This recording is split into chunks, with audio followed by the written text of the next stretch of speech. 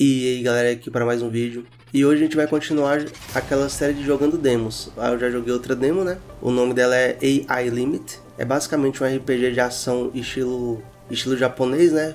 É, japonês. É também um Souls-like. Eles colocam lá nas tags, né? Eu também achei Souls-like. Ele tem bastante das mecânicas de Souls-like. Então hoje a gente vai falar sobre esse, esse jogo aí, o que eu achei, o que eu gostei, o que eu não gostei dele. E só lembrando, quem puder deixar um like ou se inscrever no canal ajuda a gente bastante a crescer esse canal, beleza? Então vamos para análise. Então, começando pelo começo do jogo, você acorda nos esgotos. Eles não te explicam nada da história, etc.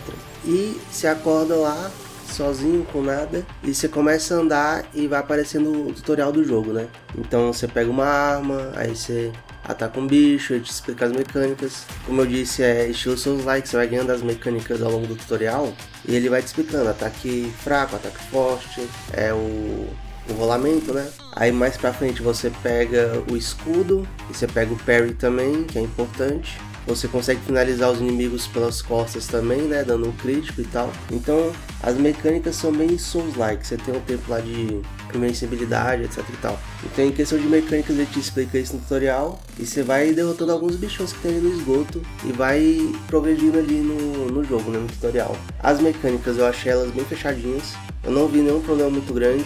Talvez a única coisa que eu vá reclamar aqui é do tempo de stagger. Tem alguns inimigos que quando te bate, eles te dão um stagger, né? Aquele tempo que você, consegue, que você não consegue fazer nada.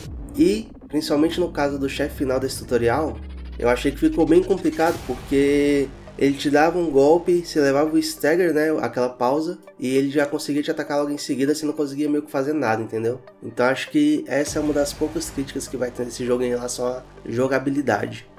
Bom, aqui nesse tutorial eu consegui equipar armadura, que eles fazem como uma peça só, né? Então não tem braços e pernas e peito, né? É só tipo peito, que seria a vestimenta, o armor, né? E você consegue também equipar capacete, né? Então você tem o um capacete. Além disso, você consegue equipar feitiços, né? Spells, que pelo que eu entendi seriam inimigos. Eu só liberei um spell, que é um de eletricidade lá que você consegue bater. Eu não sei se vai ter outros tipos de spells, com certeza deve ter, né? Mas eu só consegui liberar um. E você consegue equipar até duas armas. Só equipei não, né? Só usei uma arma ao longo do jogo.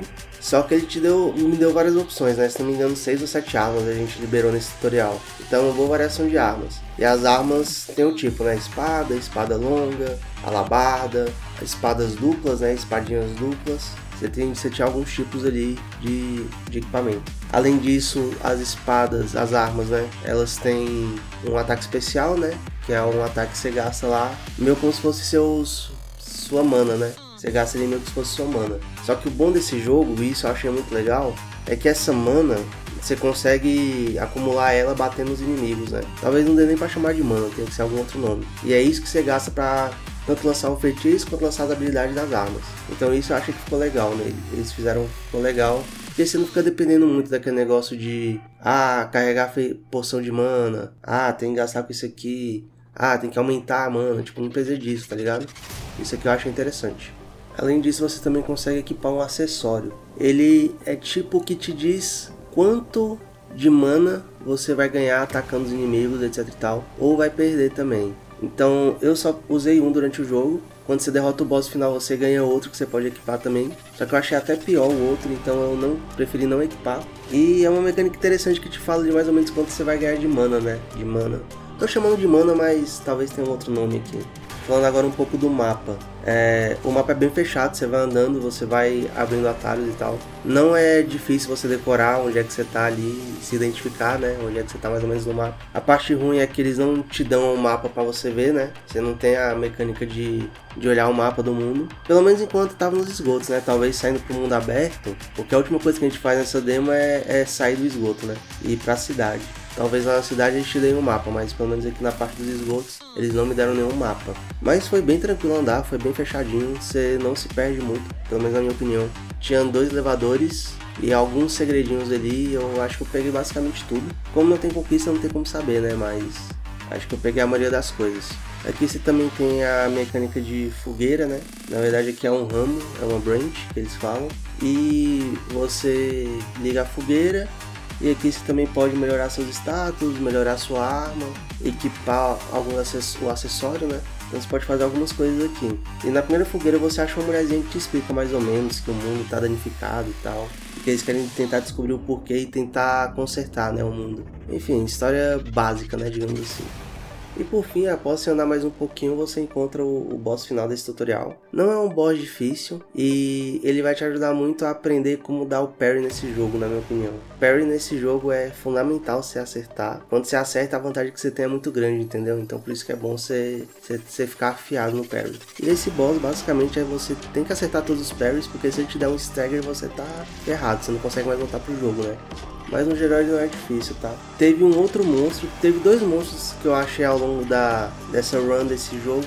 Um era um monstro gigante, eu não sei se tem como matar ele, não tentei. E o outro é um monstro que fica meio que ele no começo do jogo, que você vai lutar com ele, só que, mano, ele com um hit, dois hits, ele te trucida, tá ligado? E, por exemplo, nesse ponto que eu tava, eu ainda não tinha um parry, não tinha pegada mecânica. Então meio que ficou impossível de matar ele, de atacar ele. E ele me trucidava em um, dois golpes, rapidão. Então meio que deixei pra lá também esse monstro. Mas é isso. Um jogo que parece ser interessante. A data de lançamento não tem, tá, pra, tá só marcado para 2024, né? Então não sei se realmente vai lançar em 2024. O jogo parece estar refinado pela, pela demo, né? Considerando o que eu vi na demo, eu acho que pelo menos a jogabilidade está bem refinada já. Não achei praticamente nenhum erro. Só aquele problema do stagger mesmo. E os gráficos também não é nada demais, mas enfim, acho que é o de menos nesse caso aqui. Então é isso, galera. É um jogo interessante, talvez ficar de olho se ele sair num preço legal, né? Acredito, pelo que foi apresentado, ele não vai ser preço cheio. Mas, né, não sabe, né, como é que é essa indústria aí. Então, o jeito é aguardar mesmo. Mas pode ser uma opção interessante para quem quer um, um Souls-like mais estilo japonês. Beleza? Então é isso, eu vou ficar por aqui. Quem puder curtir, compartilhar, deixar um like e se inscrever principalmente ajuda bastante o canal. É isso, valeu, falou e tchau.